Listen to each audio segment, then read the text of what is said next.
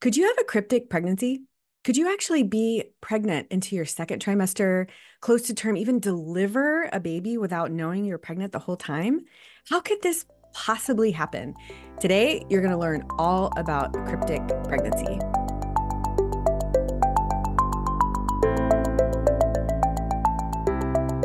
I'm Dr. Lora Shahine. I'm a double board certified OBGYN and reproductive endocrinologist helping people with pregnancy and pregnancy questions for almost 20 years. I am so glad that you found this channel. Make sure you follow this channel so you get my weekly information all about reproductive health. We can also stay in touch with my newsletter. I'll put a link in the description below. You'll get weekly fertility news, updates on my content, and recommendations for products and books that I love. And please listen to my weekly podcast. If you're a podcast listener, you want to hear interviews with experts in the field and fertility warriors, you're going to love listening to that podcast, the Baby or Bust Fertility Podcast.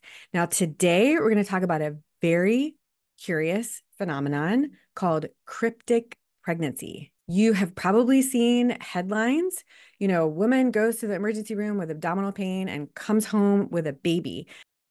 One of my favorite creators on YouTube and a dear friend, Mama Dr. Jones, has so many videos analyzing and reacting to people with cryptic pregnancies. Um, just go and watch her channel. It's you learn a lot and she has incredible videos to share. Um, so people are curious about this. I mean, how could you actually be so pregnant and not know? And that is what we are going to talk about. Today, we're going to go over four main topics. Number one, I'm going to explain exactly what a cryptic pregnancy is. Number two, I'm going to go over how common this is and how often does it really happen? Number three, I'm going to go over causes of a cryptic pregnancy. I mean, how could you be so pregnant and not realize it? And there's certain risk factors.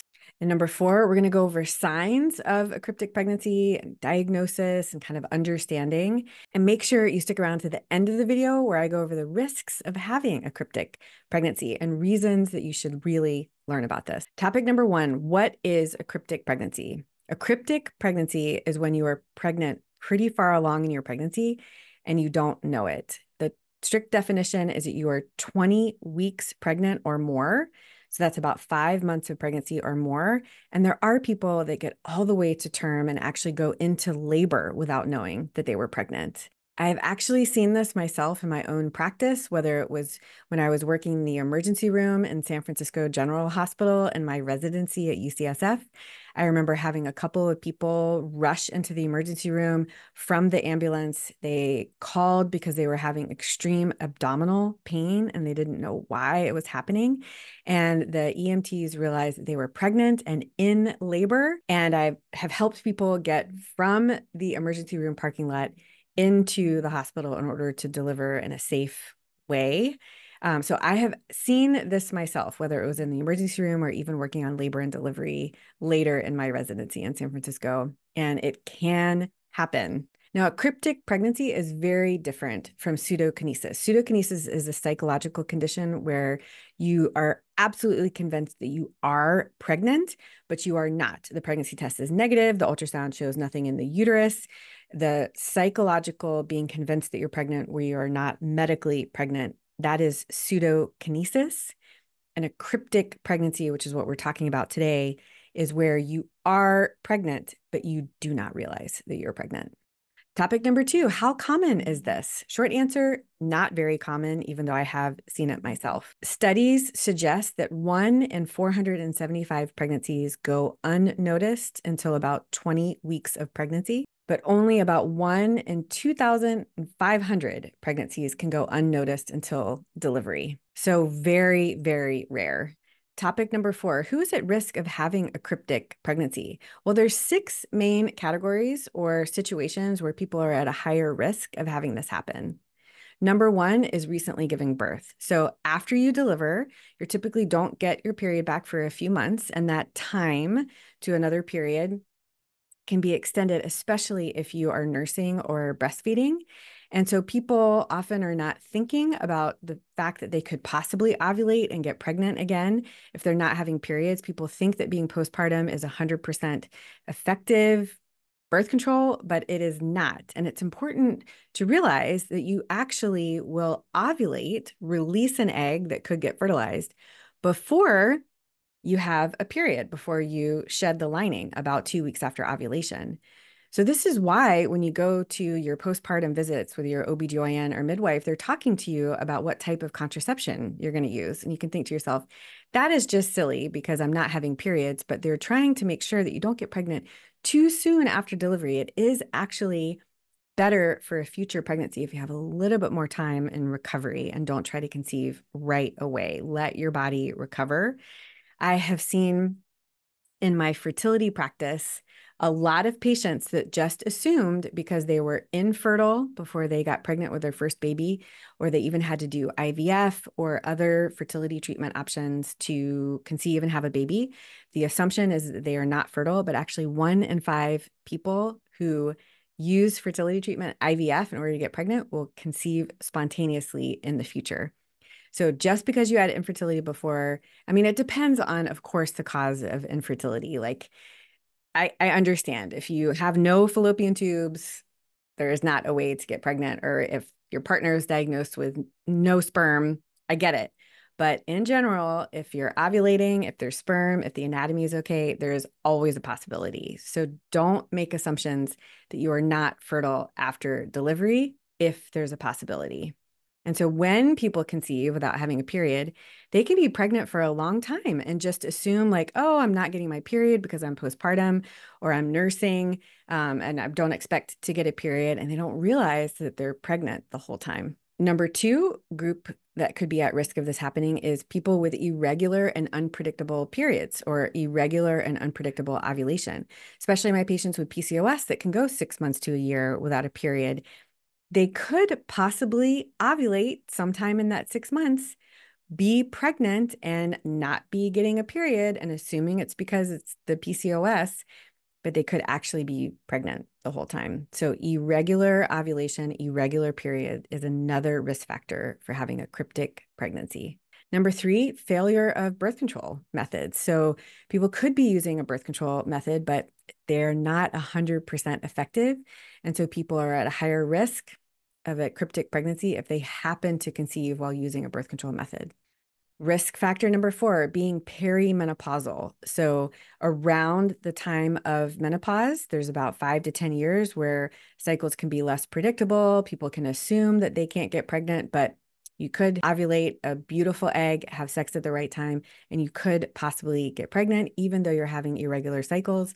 And even though you're maybe in your mid 40s or even later, and you could conceive. And if you're not thinking about it and your periods are irregular and you're older and just assume that you can't get pregnant, you're at risk of having a cryptic pregnancy. Risk factor number five is some mental health conditions, some anxiety, some depression, some other mental health disorders. Um, if they aren't treated, if they aren't cared for, it's just in studies puts you at a higher risk of having a cryptic pregnancy. Could be having symptoms from your mental health issues and assuming that those are not pregnancy symptoms, not paying attention to your overall health because you're focused on your mental health, uh, maybe not noticing that you haven't had a period for a while. So that's just a group, um, a risk factor for cryptic pregnancy. And number six, inaccurate pregnancy tests. So it can happen whether the tests are old or they weren't stored correctly in whatever warehouse they were in.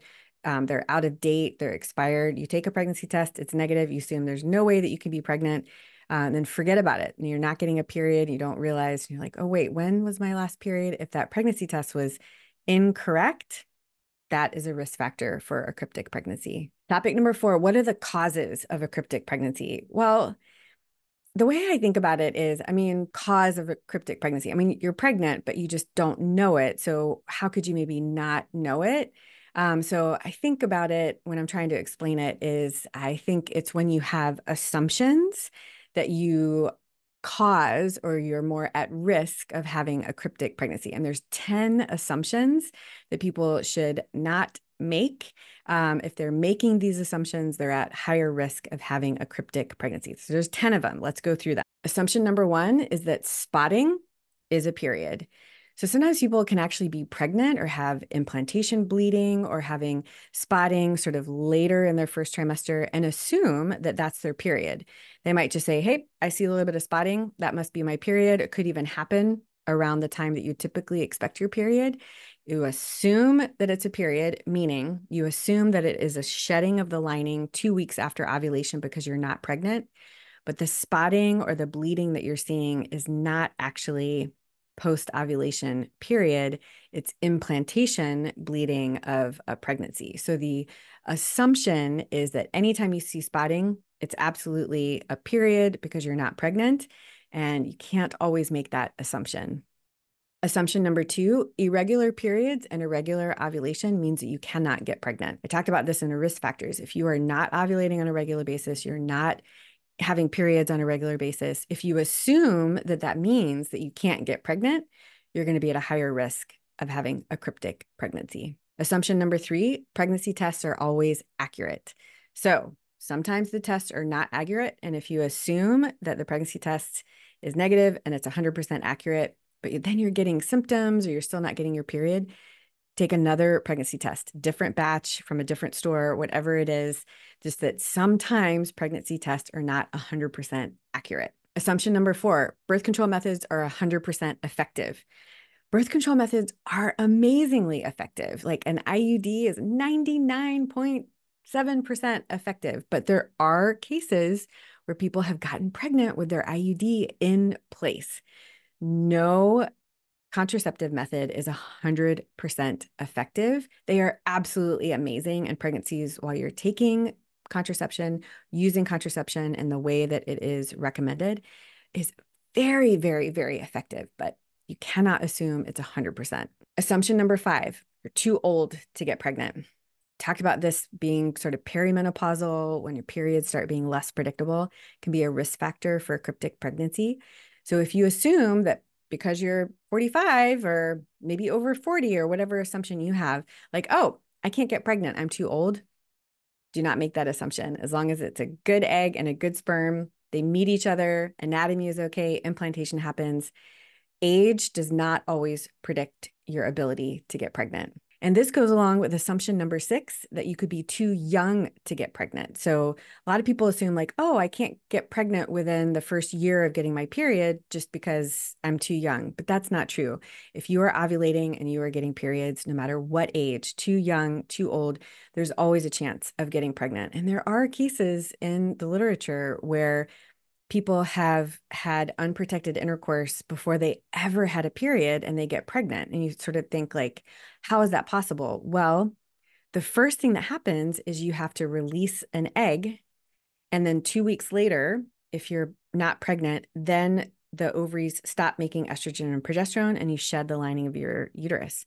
So there are cases where people actually ovulate and get pregnant before they ever see their first period. It's very rare, of course, but just do not assume that because you're too young, you cannot get pregnant, because if you're ovulating, it is possible. Assumption number seven I'm too infertile to get pregnant naturally.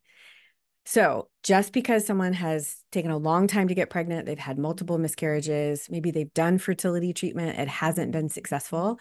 Sometimes people say, Gosh, I have tried it all and I haven't gotten pregnant, even with IVF. So why do I even need contraception?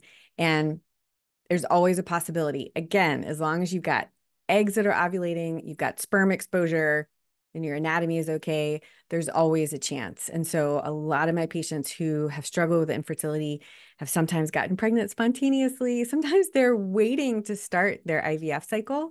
And they're like, hey, I know I'm supposed to call the clinic with my cycle day one to start this part of my IVF cycle, um, but I still haven't gotten my period. And we have to sort of say, well, are you pregnant? And they sort of say, no, I can't be pregnant. I'm getting ready to start my IVF cycle. And we're like, well, take a pregnancy test.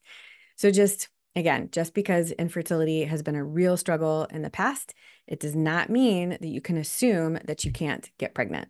Assumption number eight it's too soon to get pregnant after I've had a baby. Talked a little bit about this and like a really common risk factor for cryptic pregnancy is recently delivering. So sometimes people assume, like, oh, because I just had a baby, I haven't had a period yet, or I'm breastfeeding, there's no way that I can get pregnant. But we already talked about that's a possibility. So make no assumptions. Assumption number nine that the symptoms that I'm feeling can't be pregnancy related. So sometimes people will feel nausea, they'll feel breast tenderness, they'll feel moodiness, and they'll just assume, oh, this is from, you know, my, you know, I'm premenstrual or something else is going on in life. I've got the flu. I, um, you know, I'm suffering from a depressive episode. I'm having all these symptoms, but it certainly can't be pregnancy related. Don't assume, take a pregnancy test. And finally, assumption number 10 that a lack of symptoms means that you cannot be pregnant. So there are people that get no pregnancy symptoms. They don't get nausea, they don't get breast tenderness, they don't get moodiness, and they think to themselves, well, okay, maybe I haven't got my period, but there's no way that I'm pregnant because I'm not feeling a certain way. Um, this is can often happen in a second pregnancy where someone says, In my first pregnancy, I just knew it right away. All of a sudden, I had aversion to certain foods, my smell changed. Um, you know, I was moody, whatever it is. Like, I just, I know how I feel when I am pregnant, and therefore I cannot be pregnant Every pregnancy is unique, and you cannot assume that a lack of pregnancy symptoms means that you cannot be pregnant. So, we've gone over the four main topics that I wanted to cover today. We went over exactly what a cryptic pregnancy is, how common it is, what the risk factors are, and the causes of a cryptic pregnancy. I'm glad that you stuck around till the end of the video to learn why getting a cryptic pregnancy can be so risky. So, the main reason is that without prenatal care, you can have some pregnancy complications if you don't figure out that you're pregnant until the second, late second trimester, and even kind of close to delivery. So, if you are not taking prenatal vitamins or you're not getting enough folic acid, that can put you at a higher risk of having a baby with a neural tube defect like spina bifida.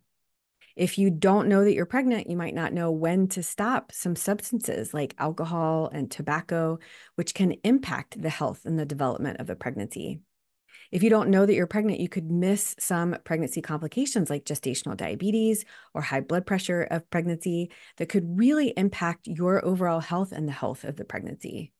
And just this lack of prenatal care is really going to put you at an overall risk of having preterm delivery and all the complications that can come with that. So, certainly, there are people that have cryptic pregnancies and are totally fine and have beautiful babies. I am not saying that if this has happened to you, that that means that you are destined to have complications in the pregnancy. But this is one of the risks and one of the reasons why it is important, if at all possible, to find out sooner rather than later and to not make assumptions.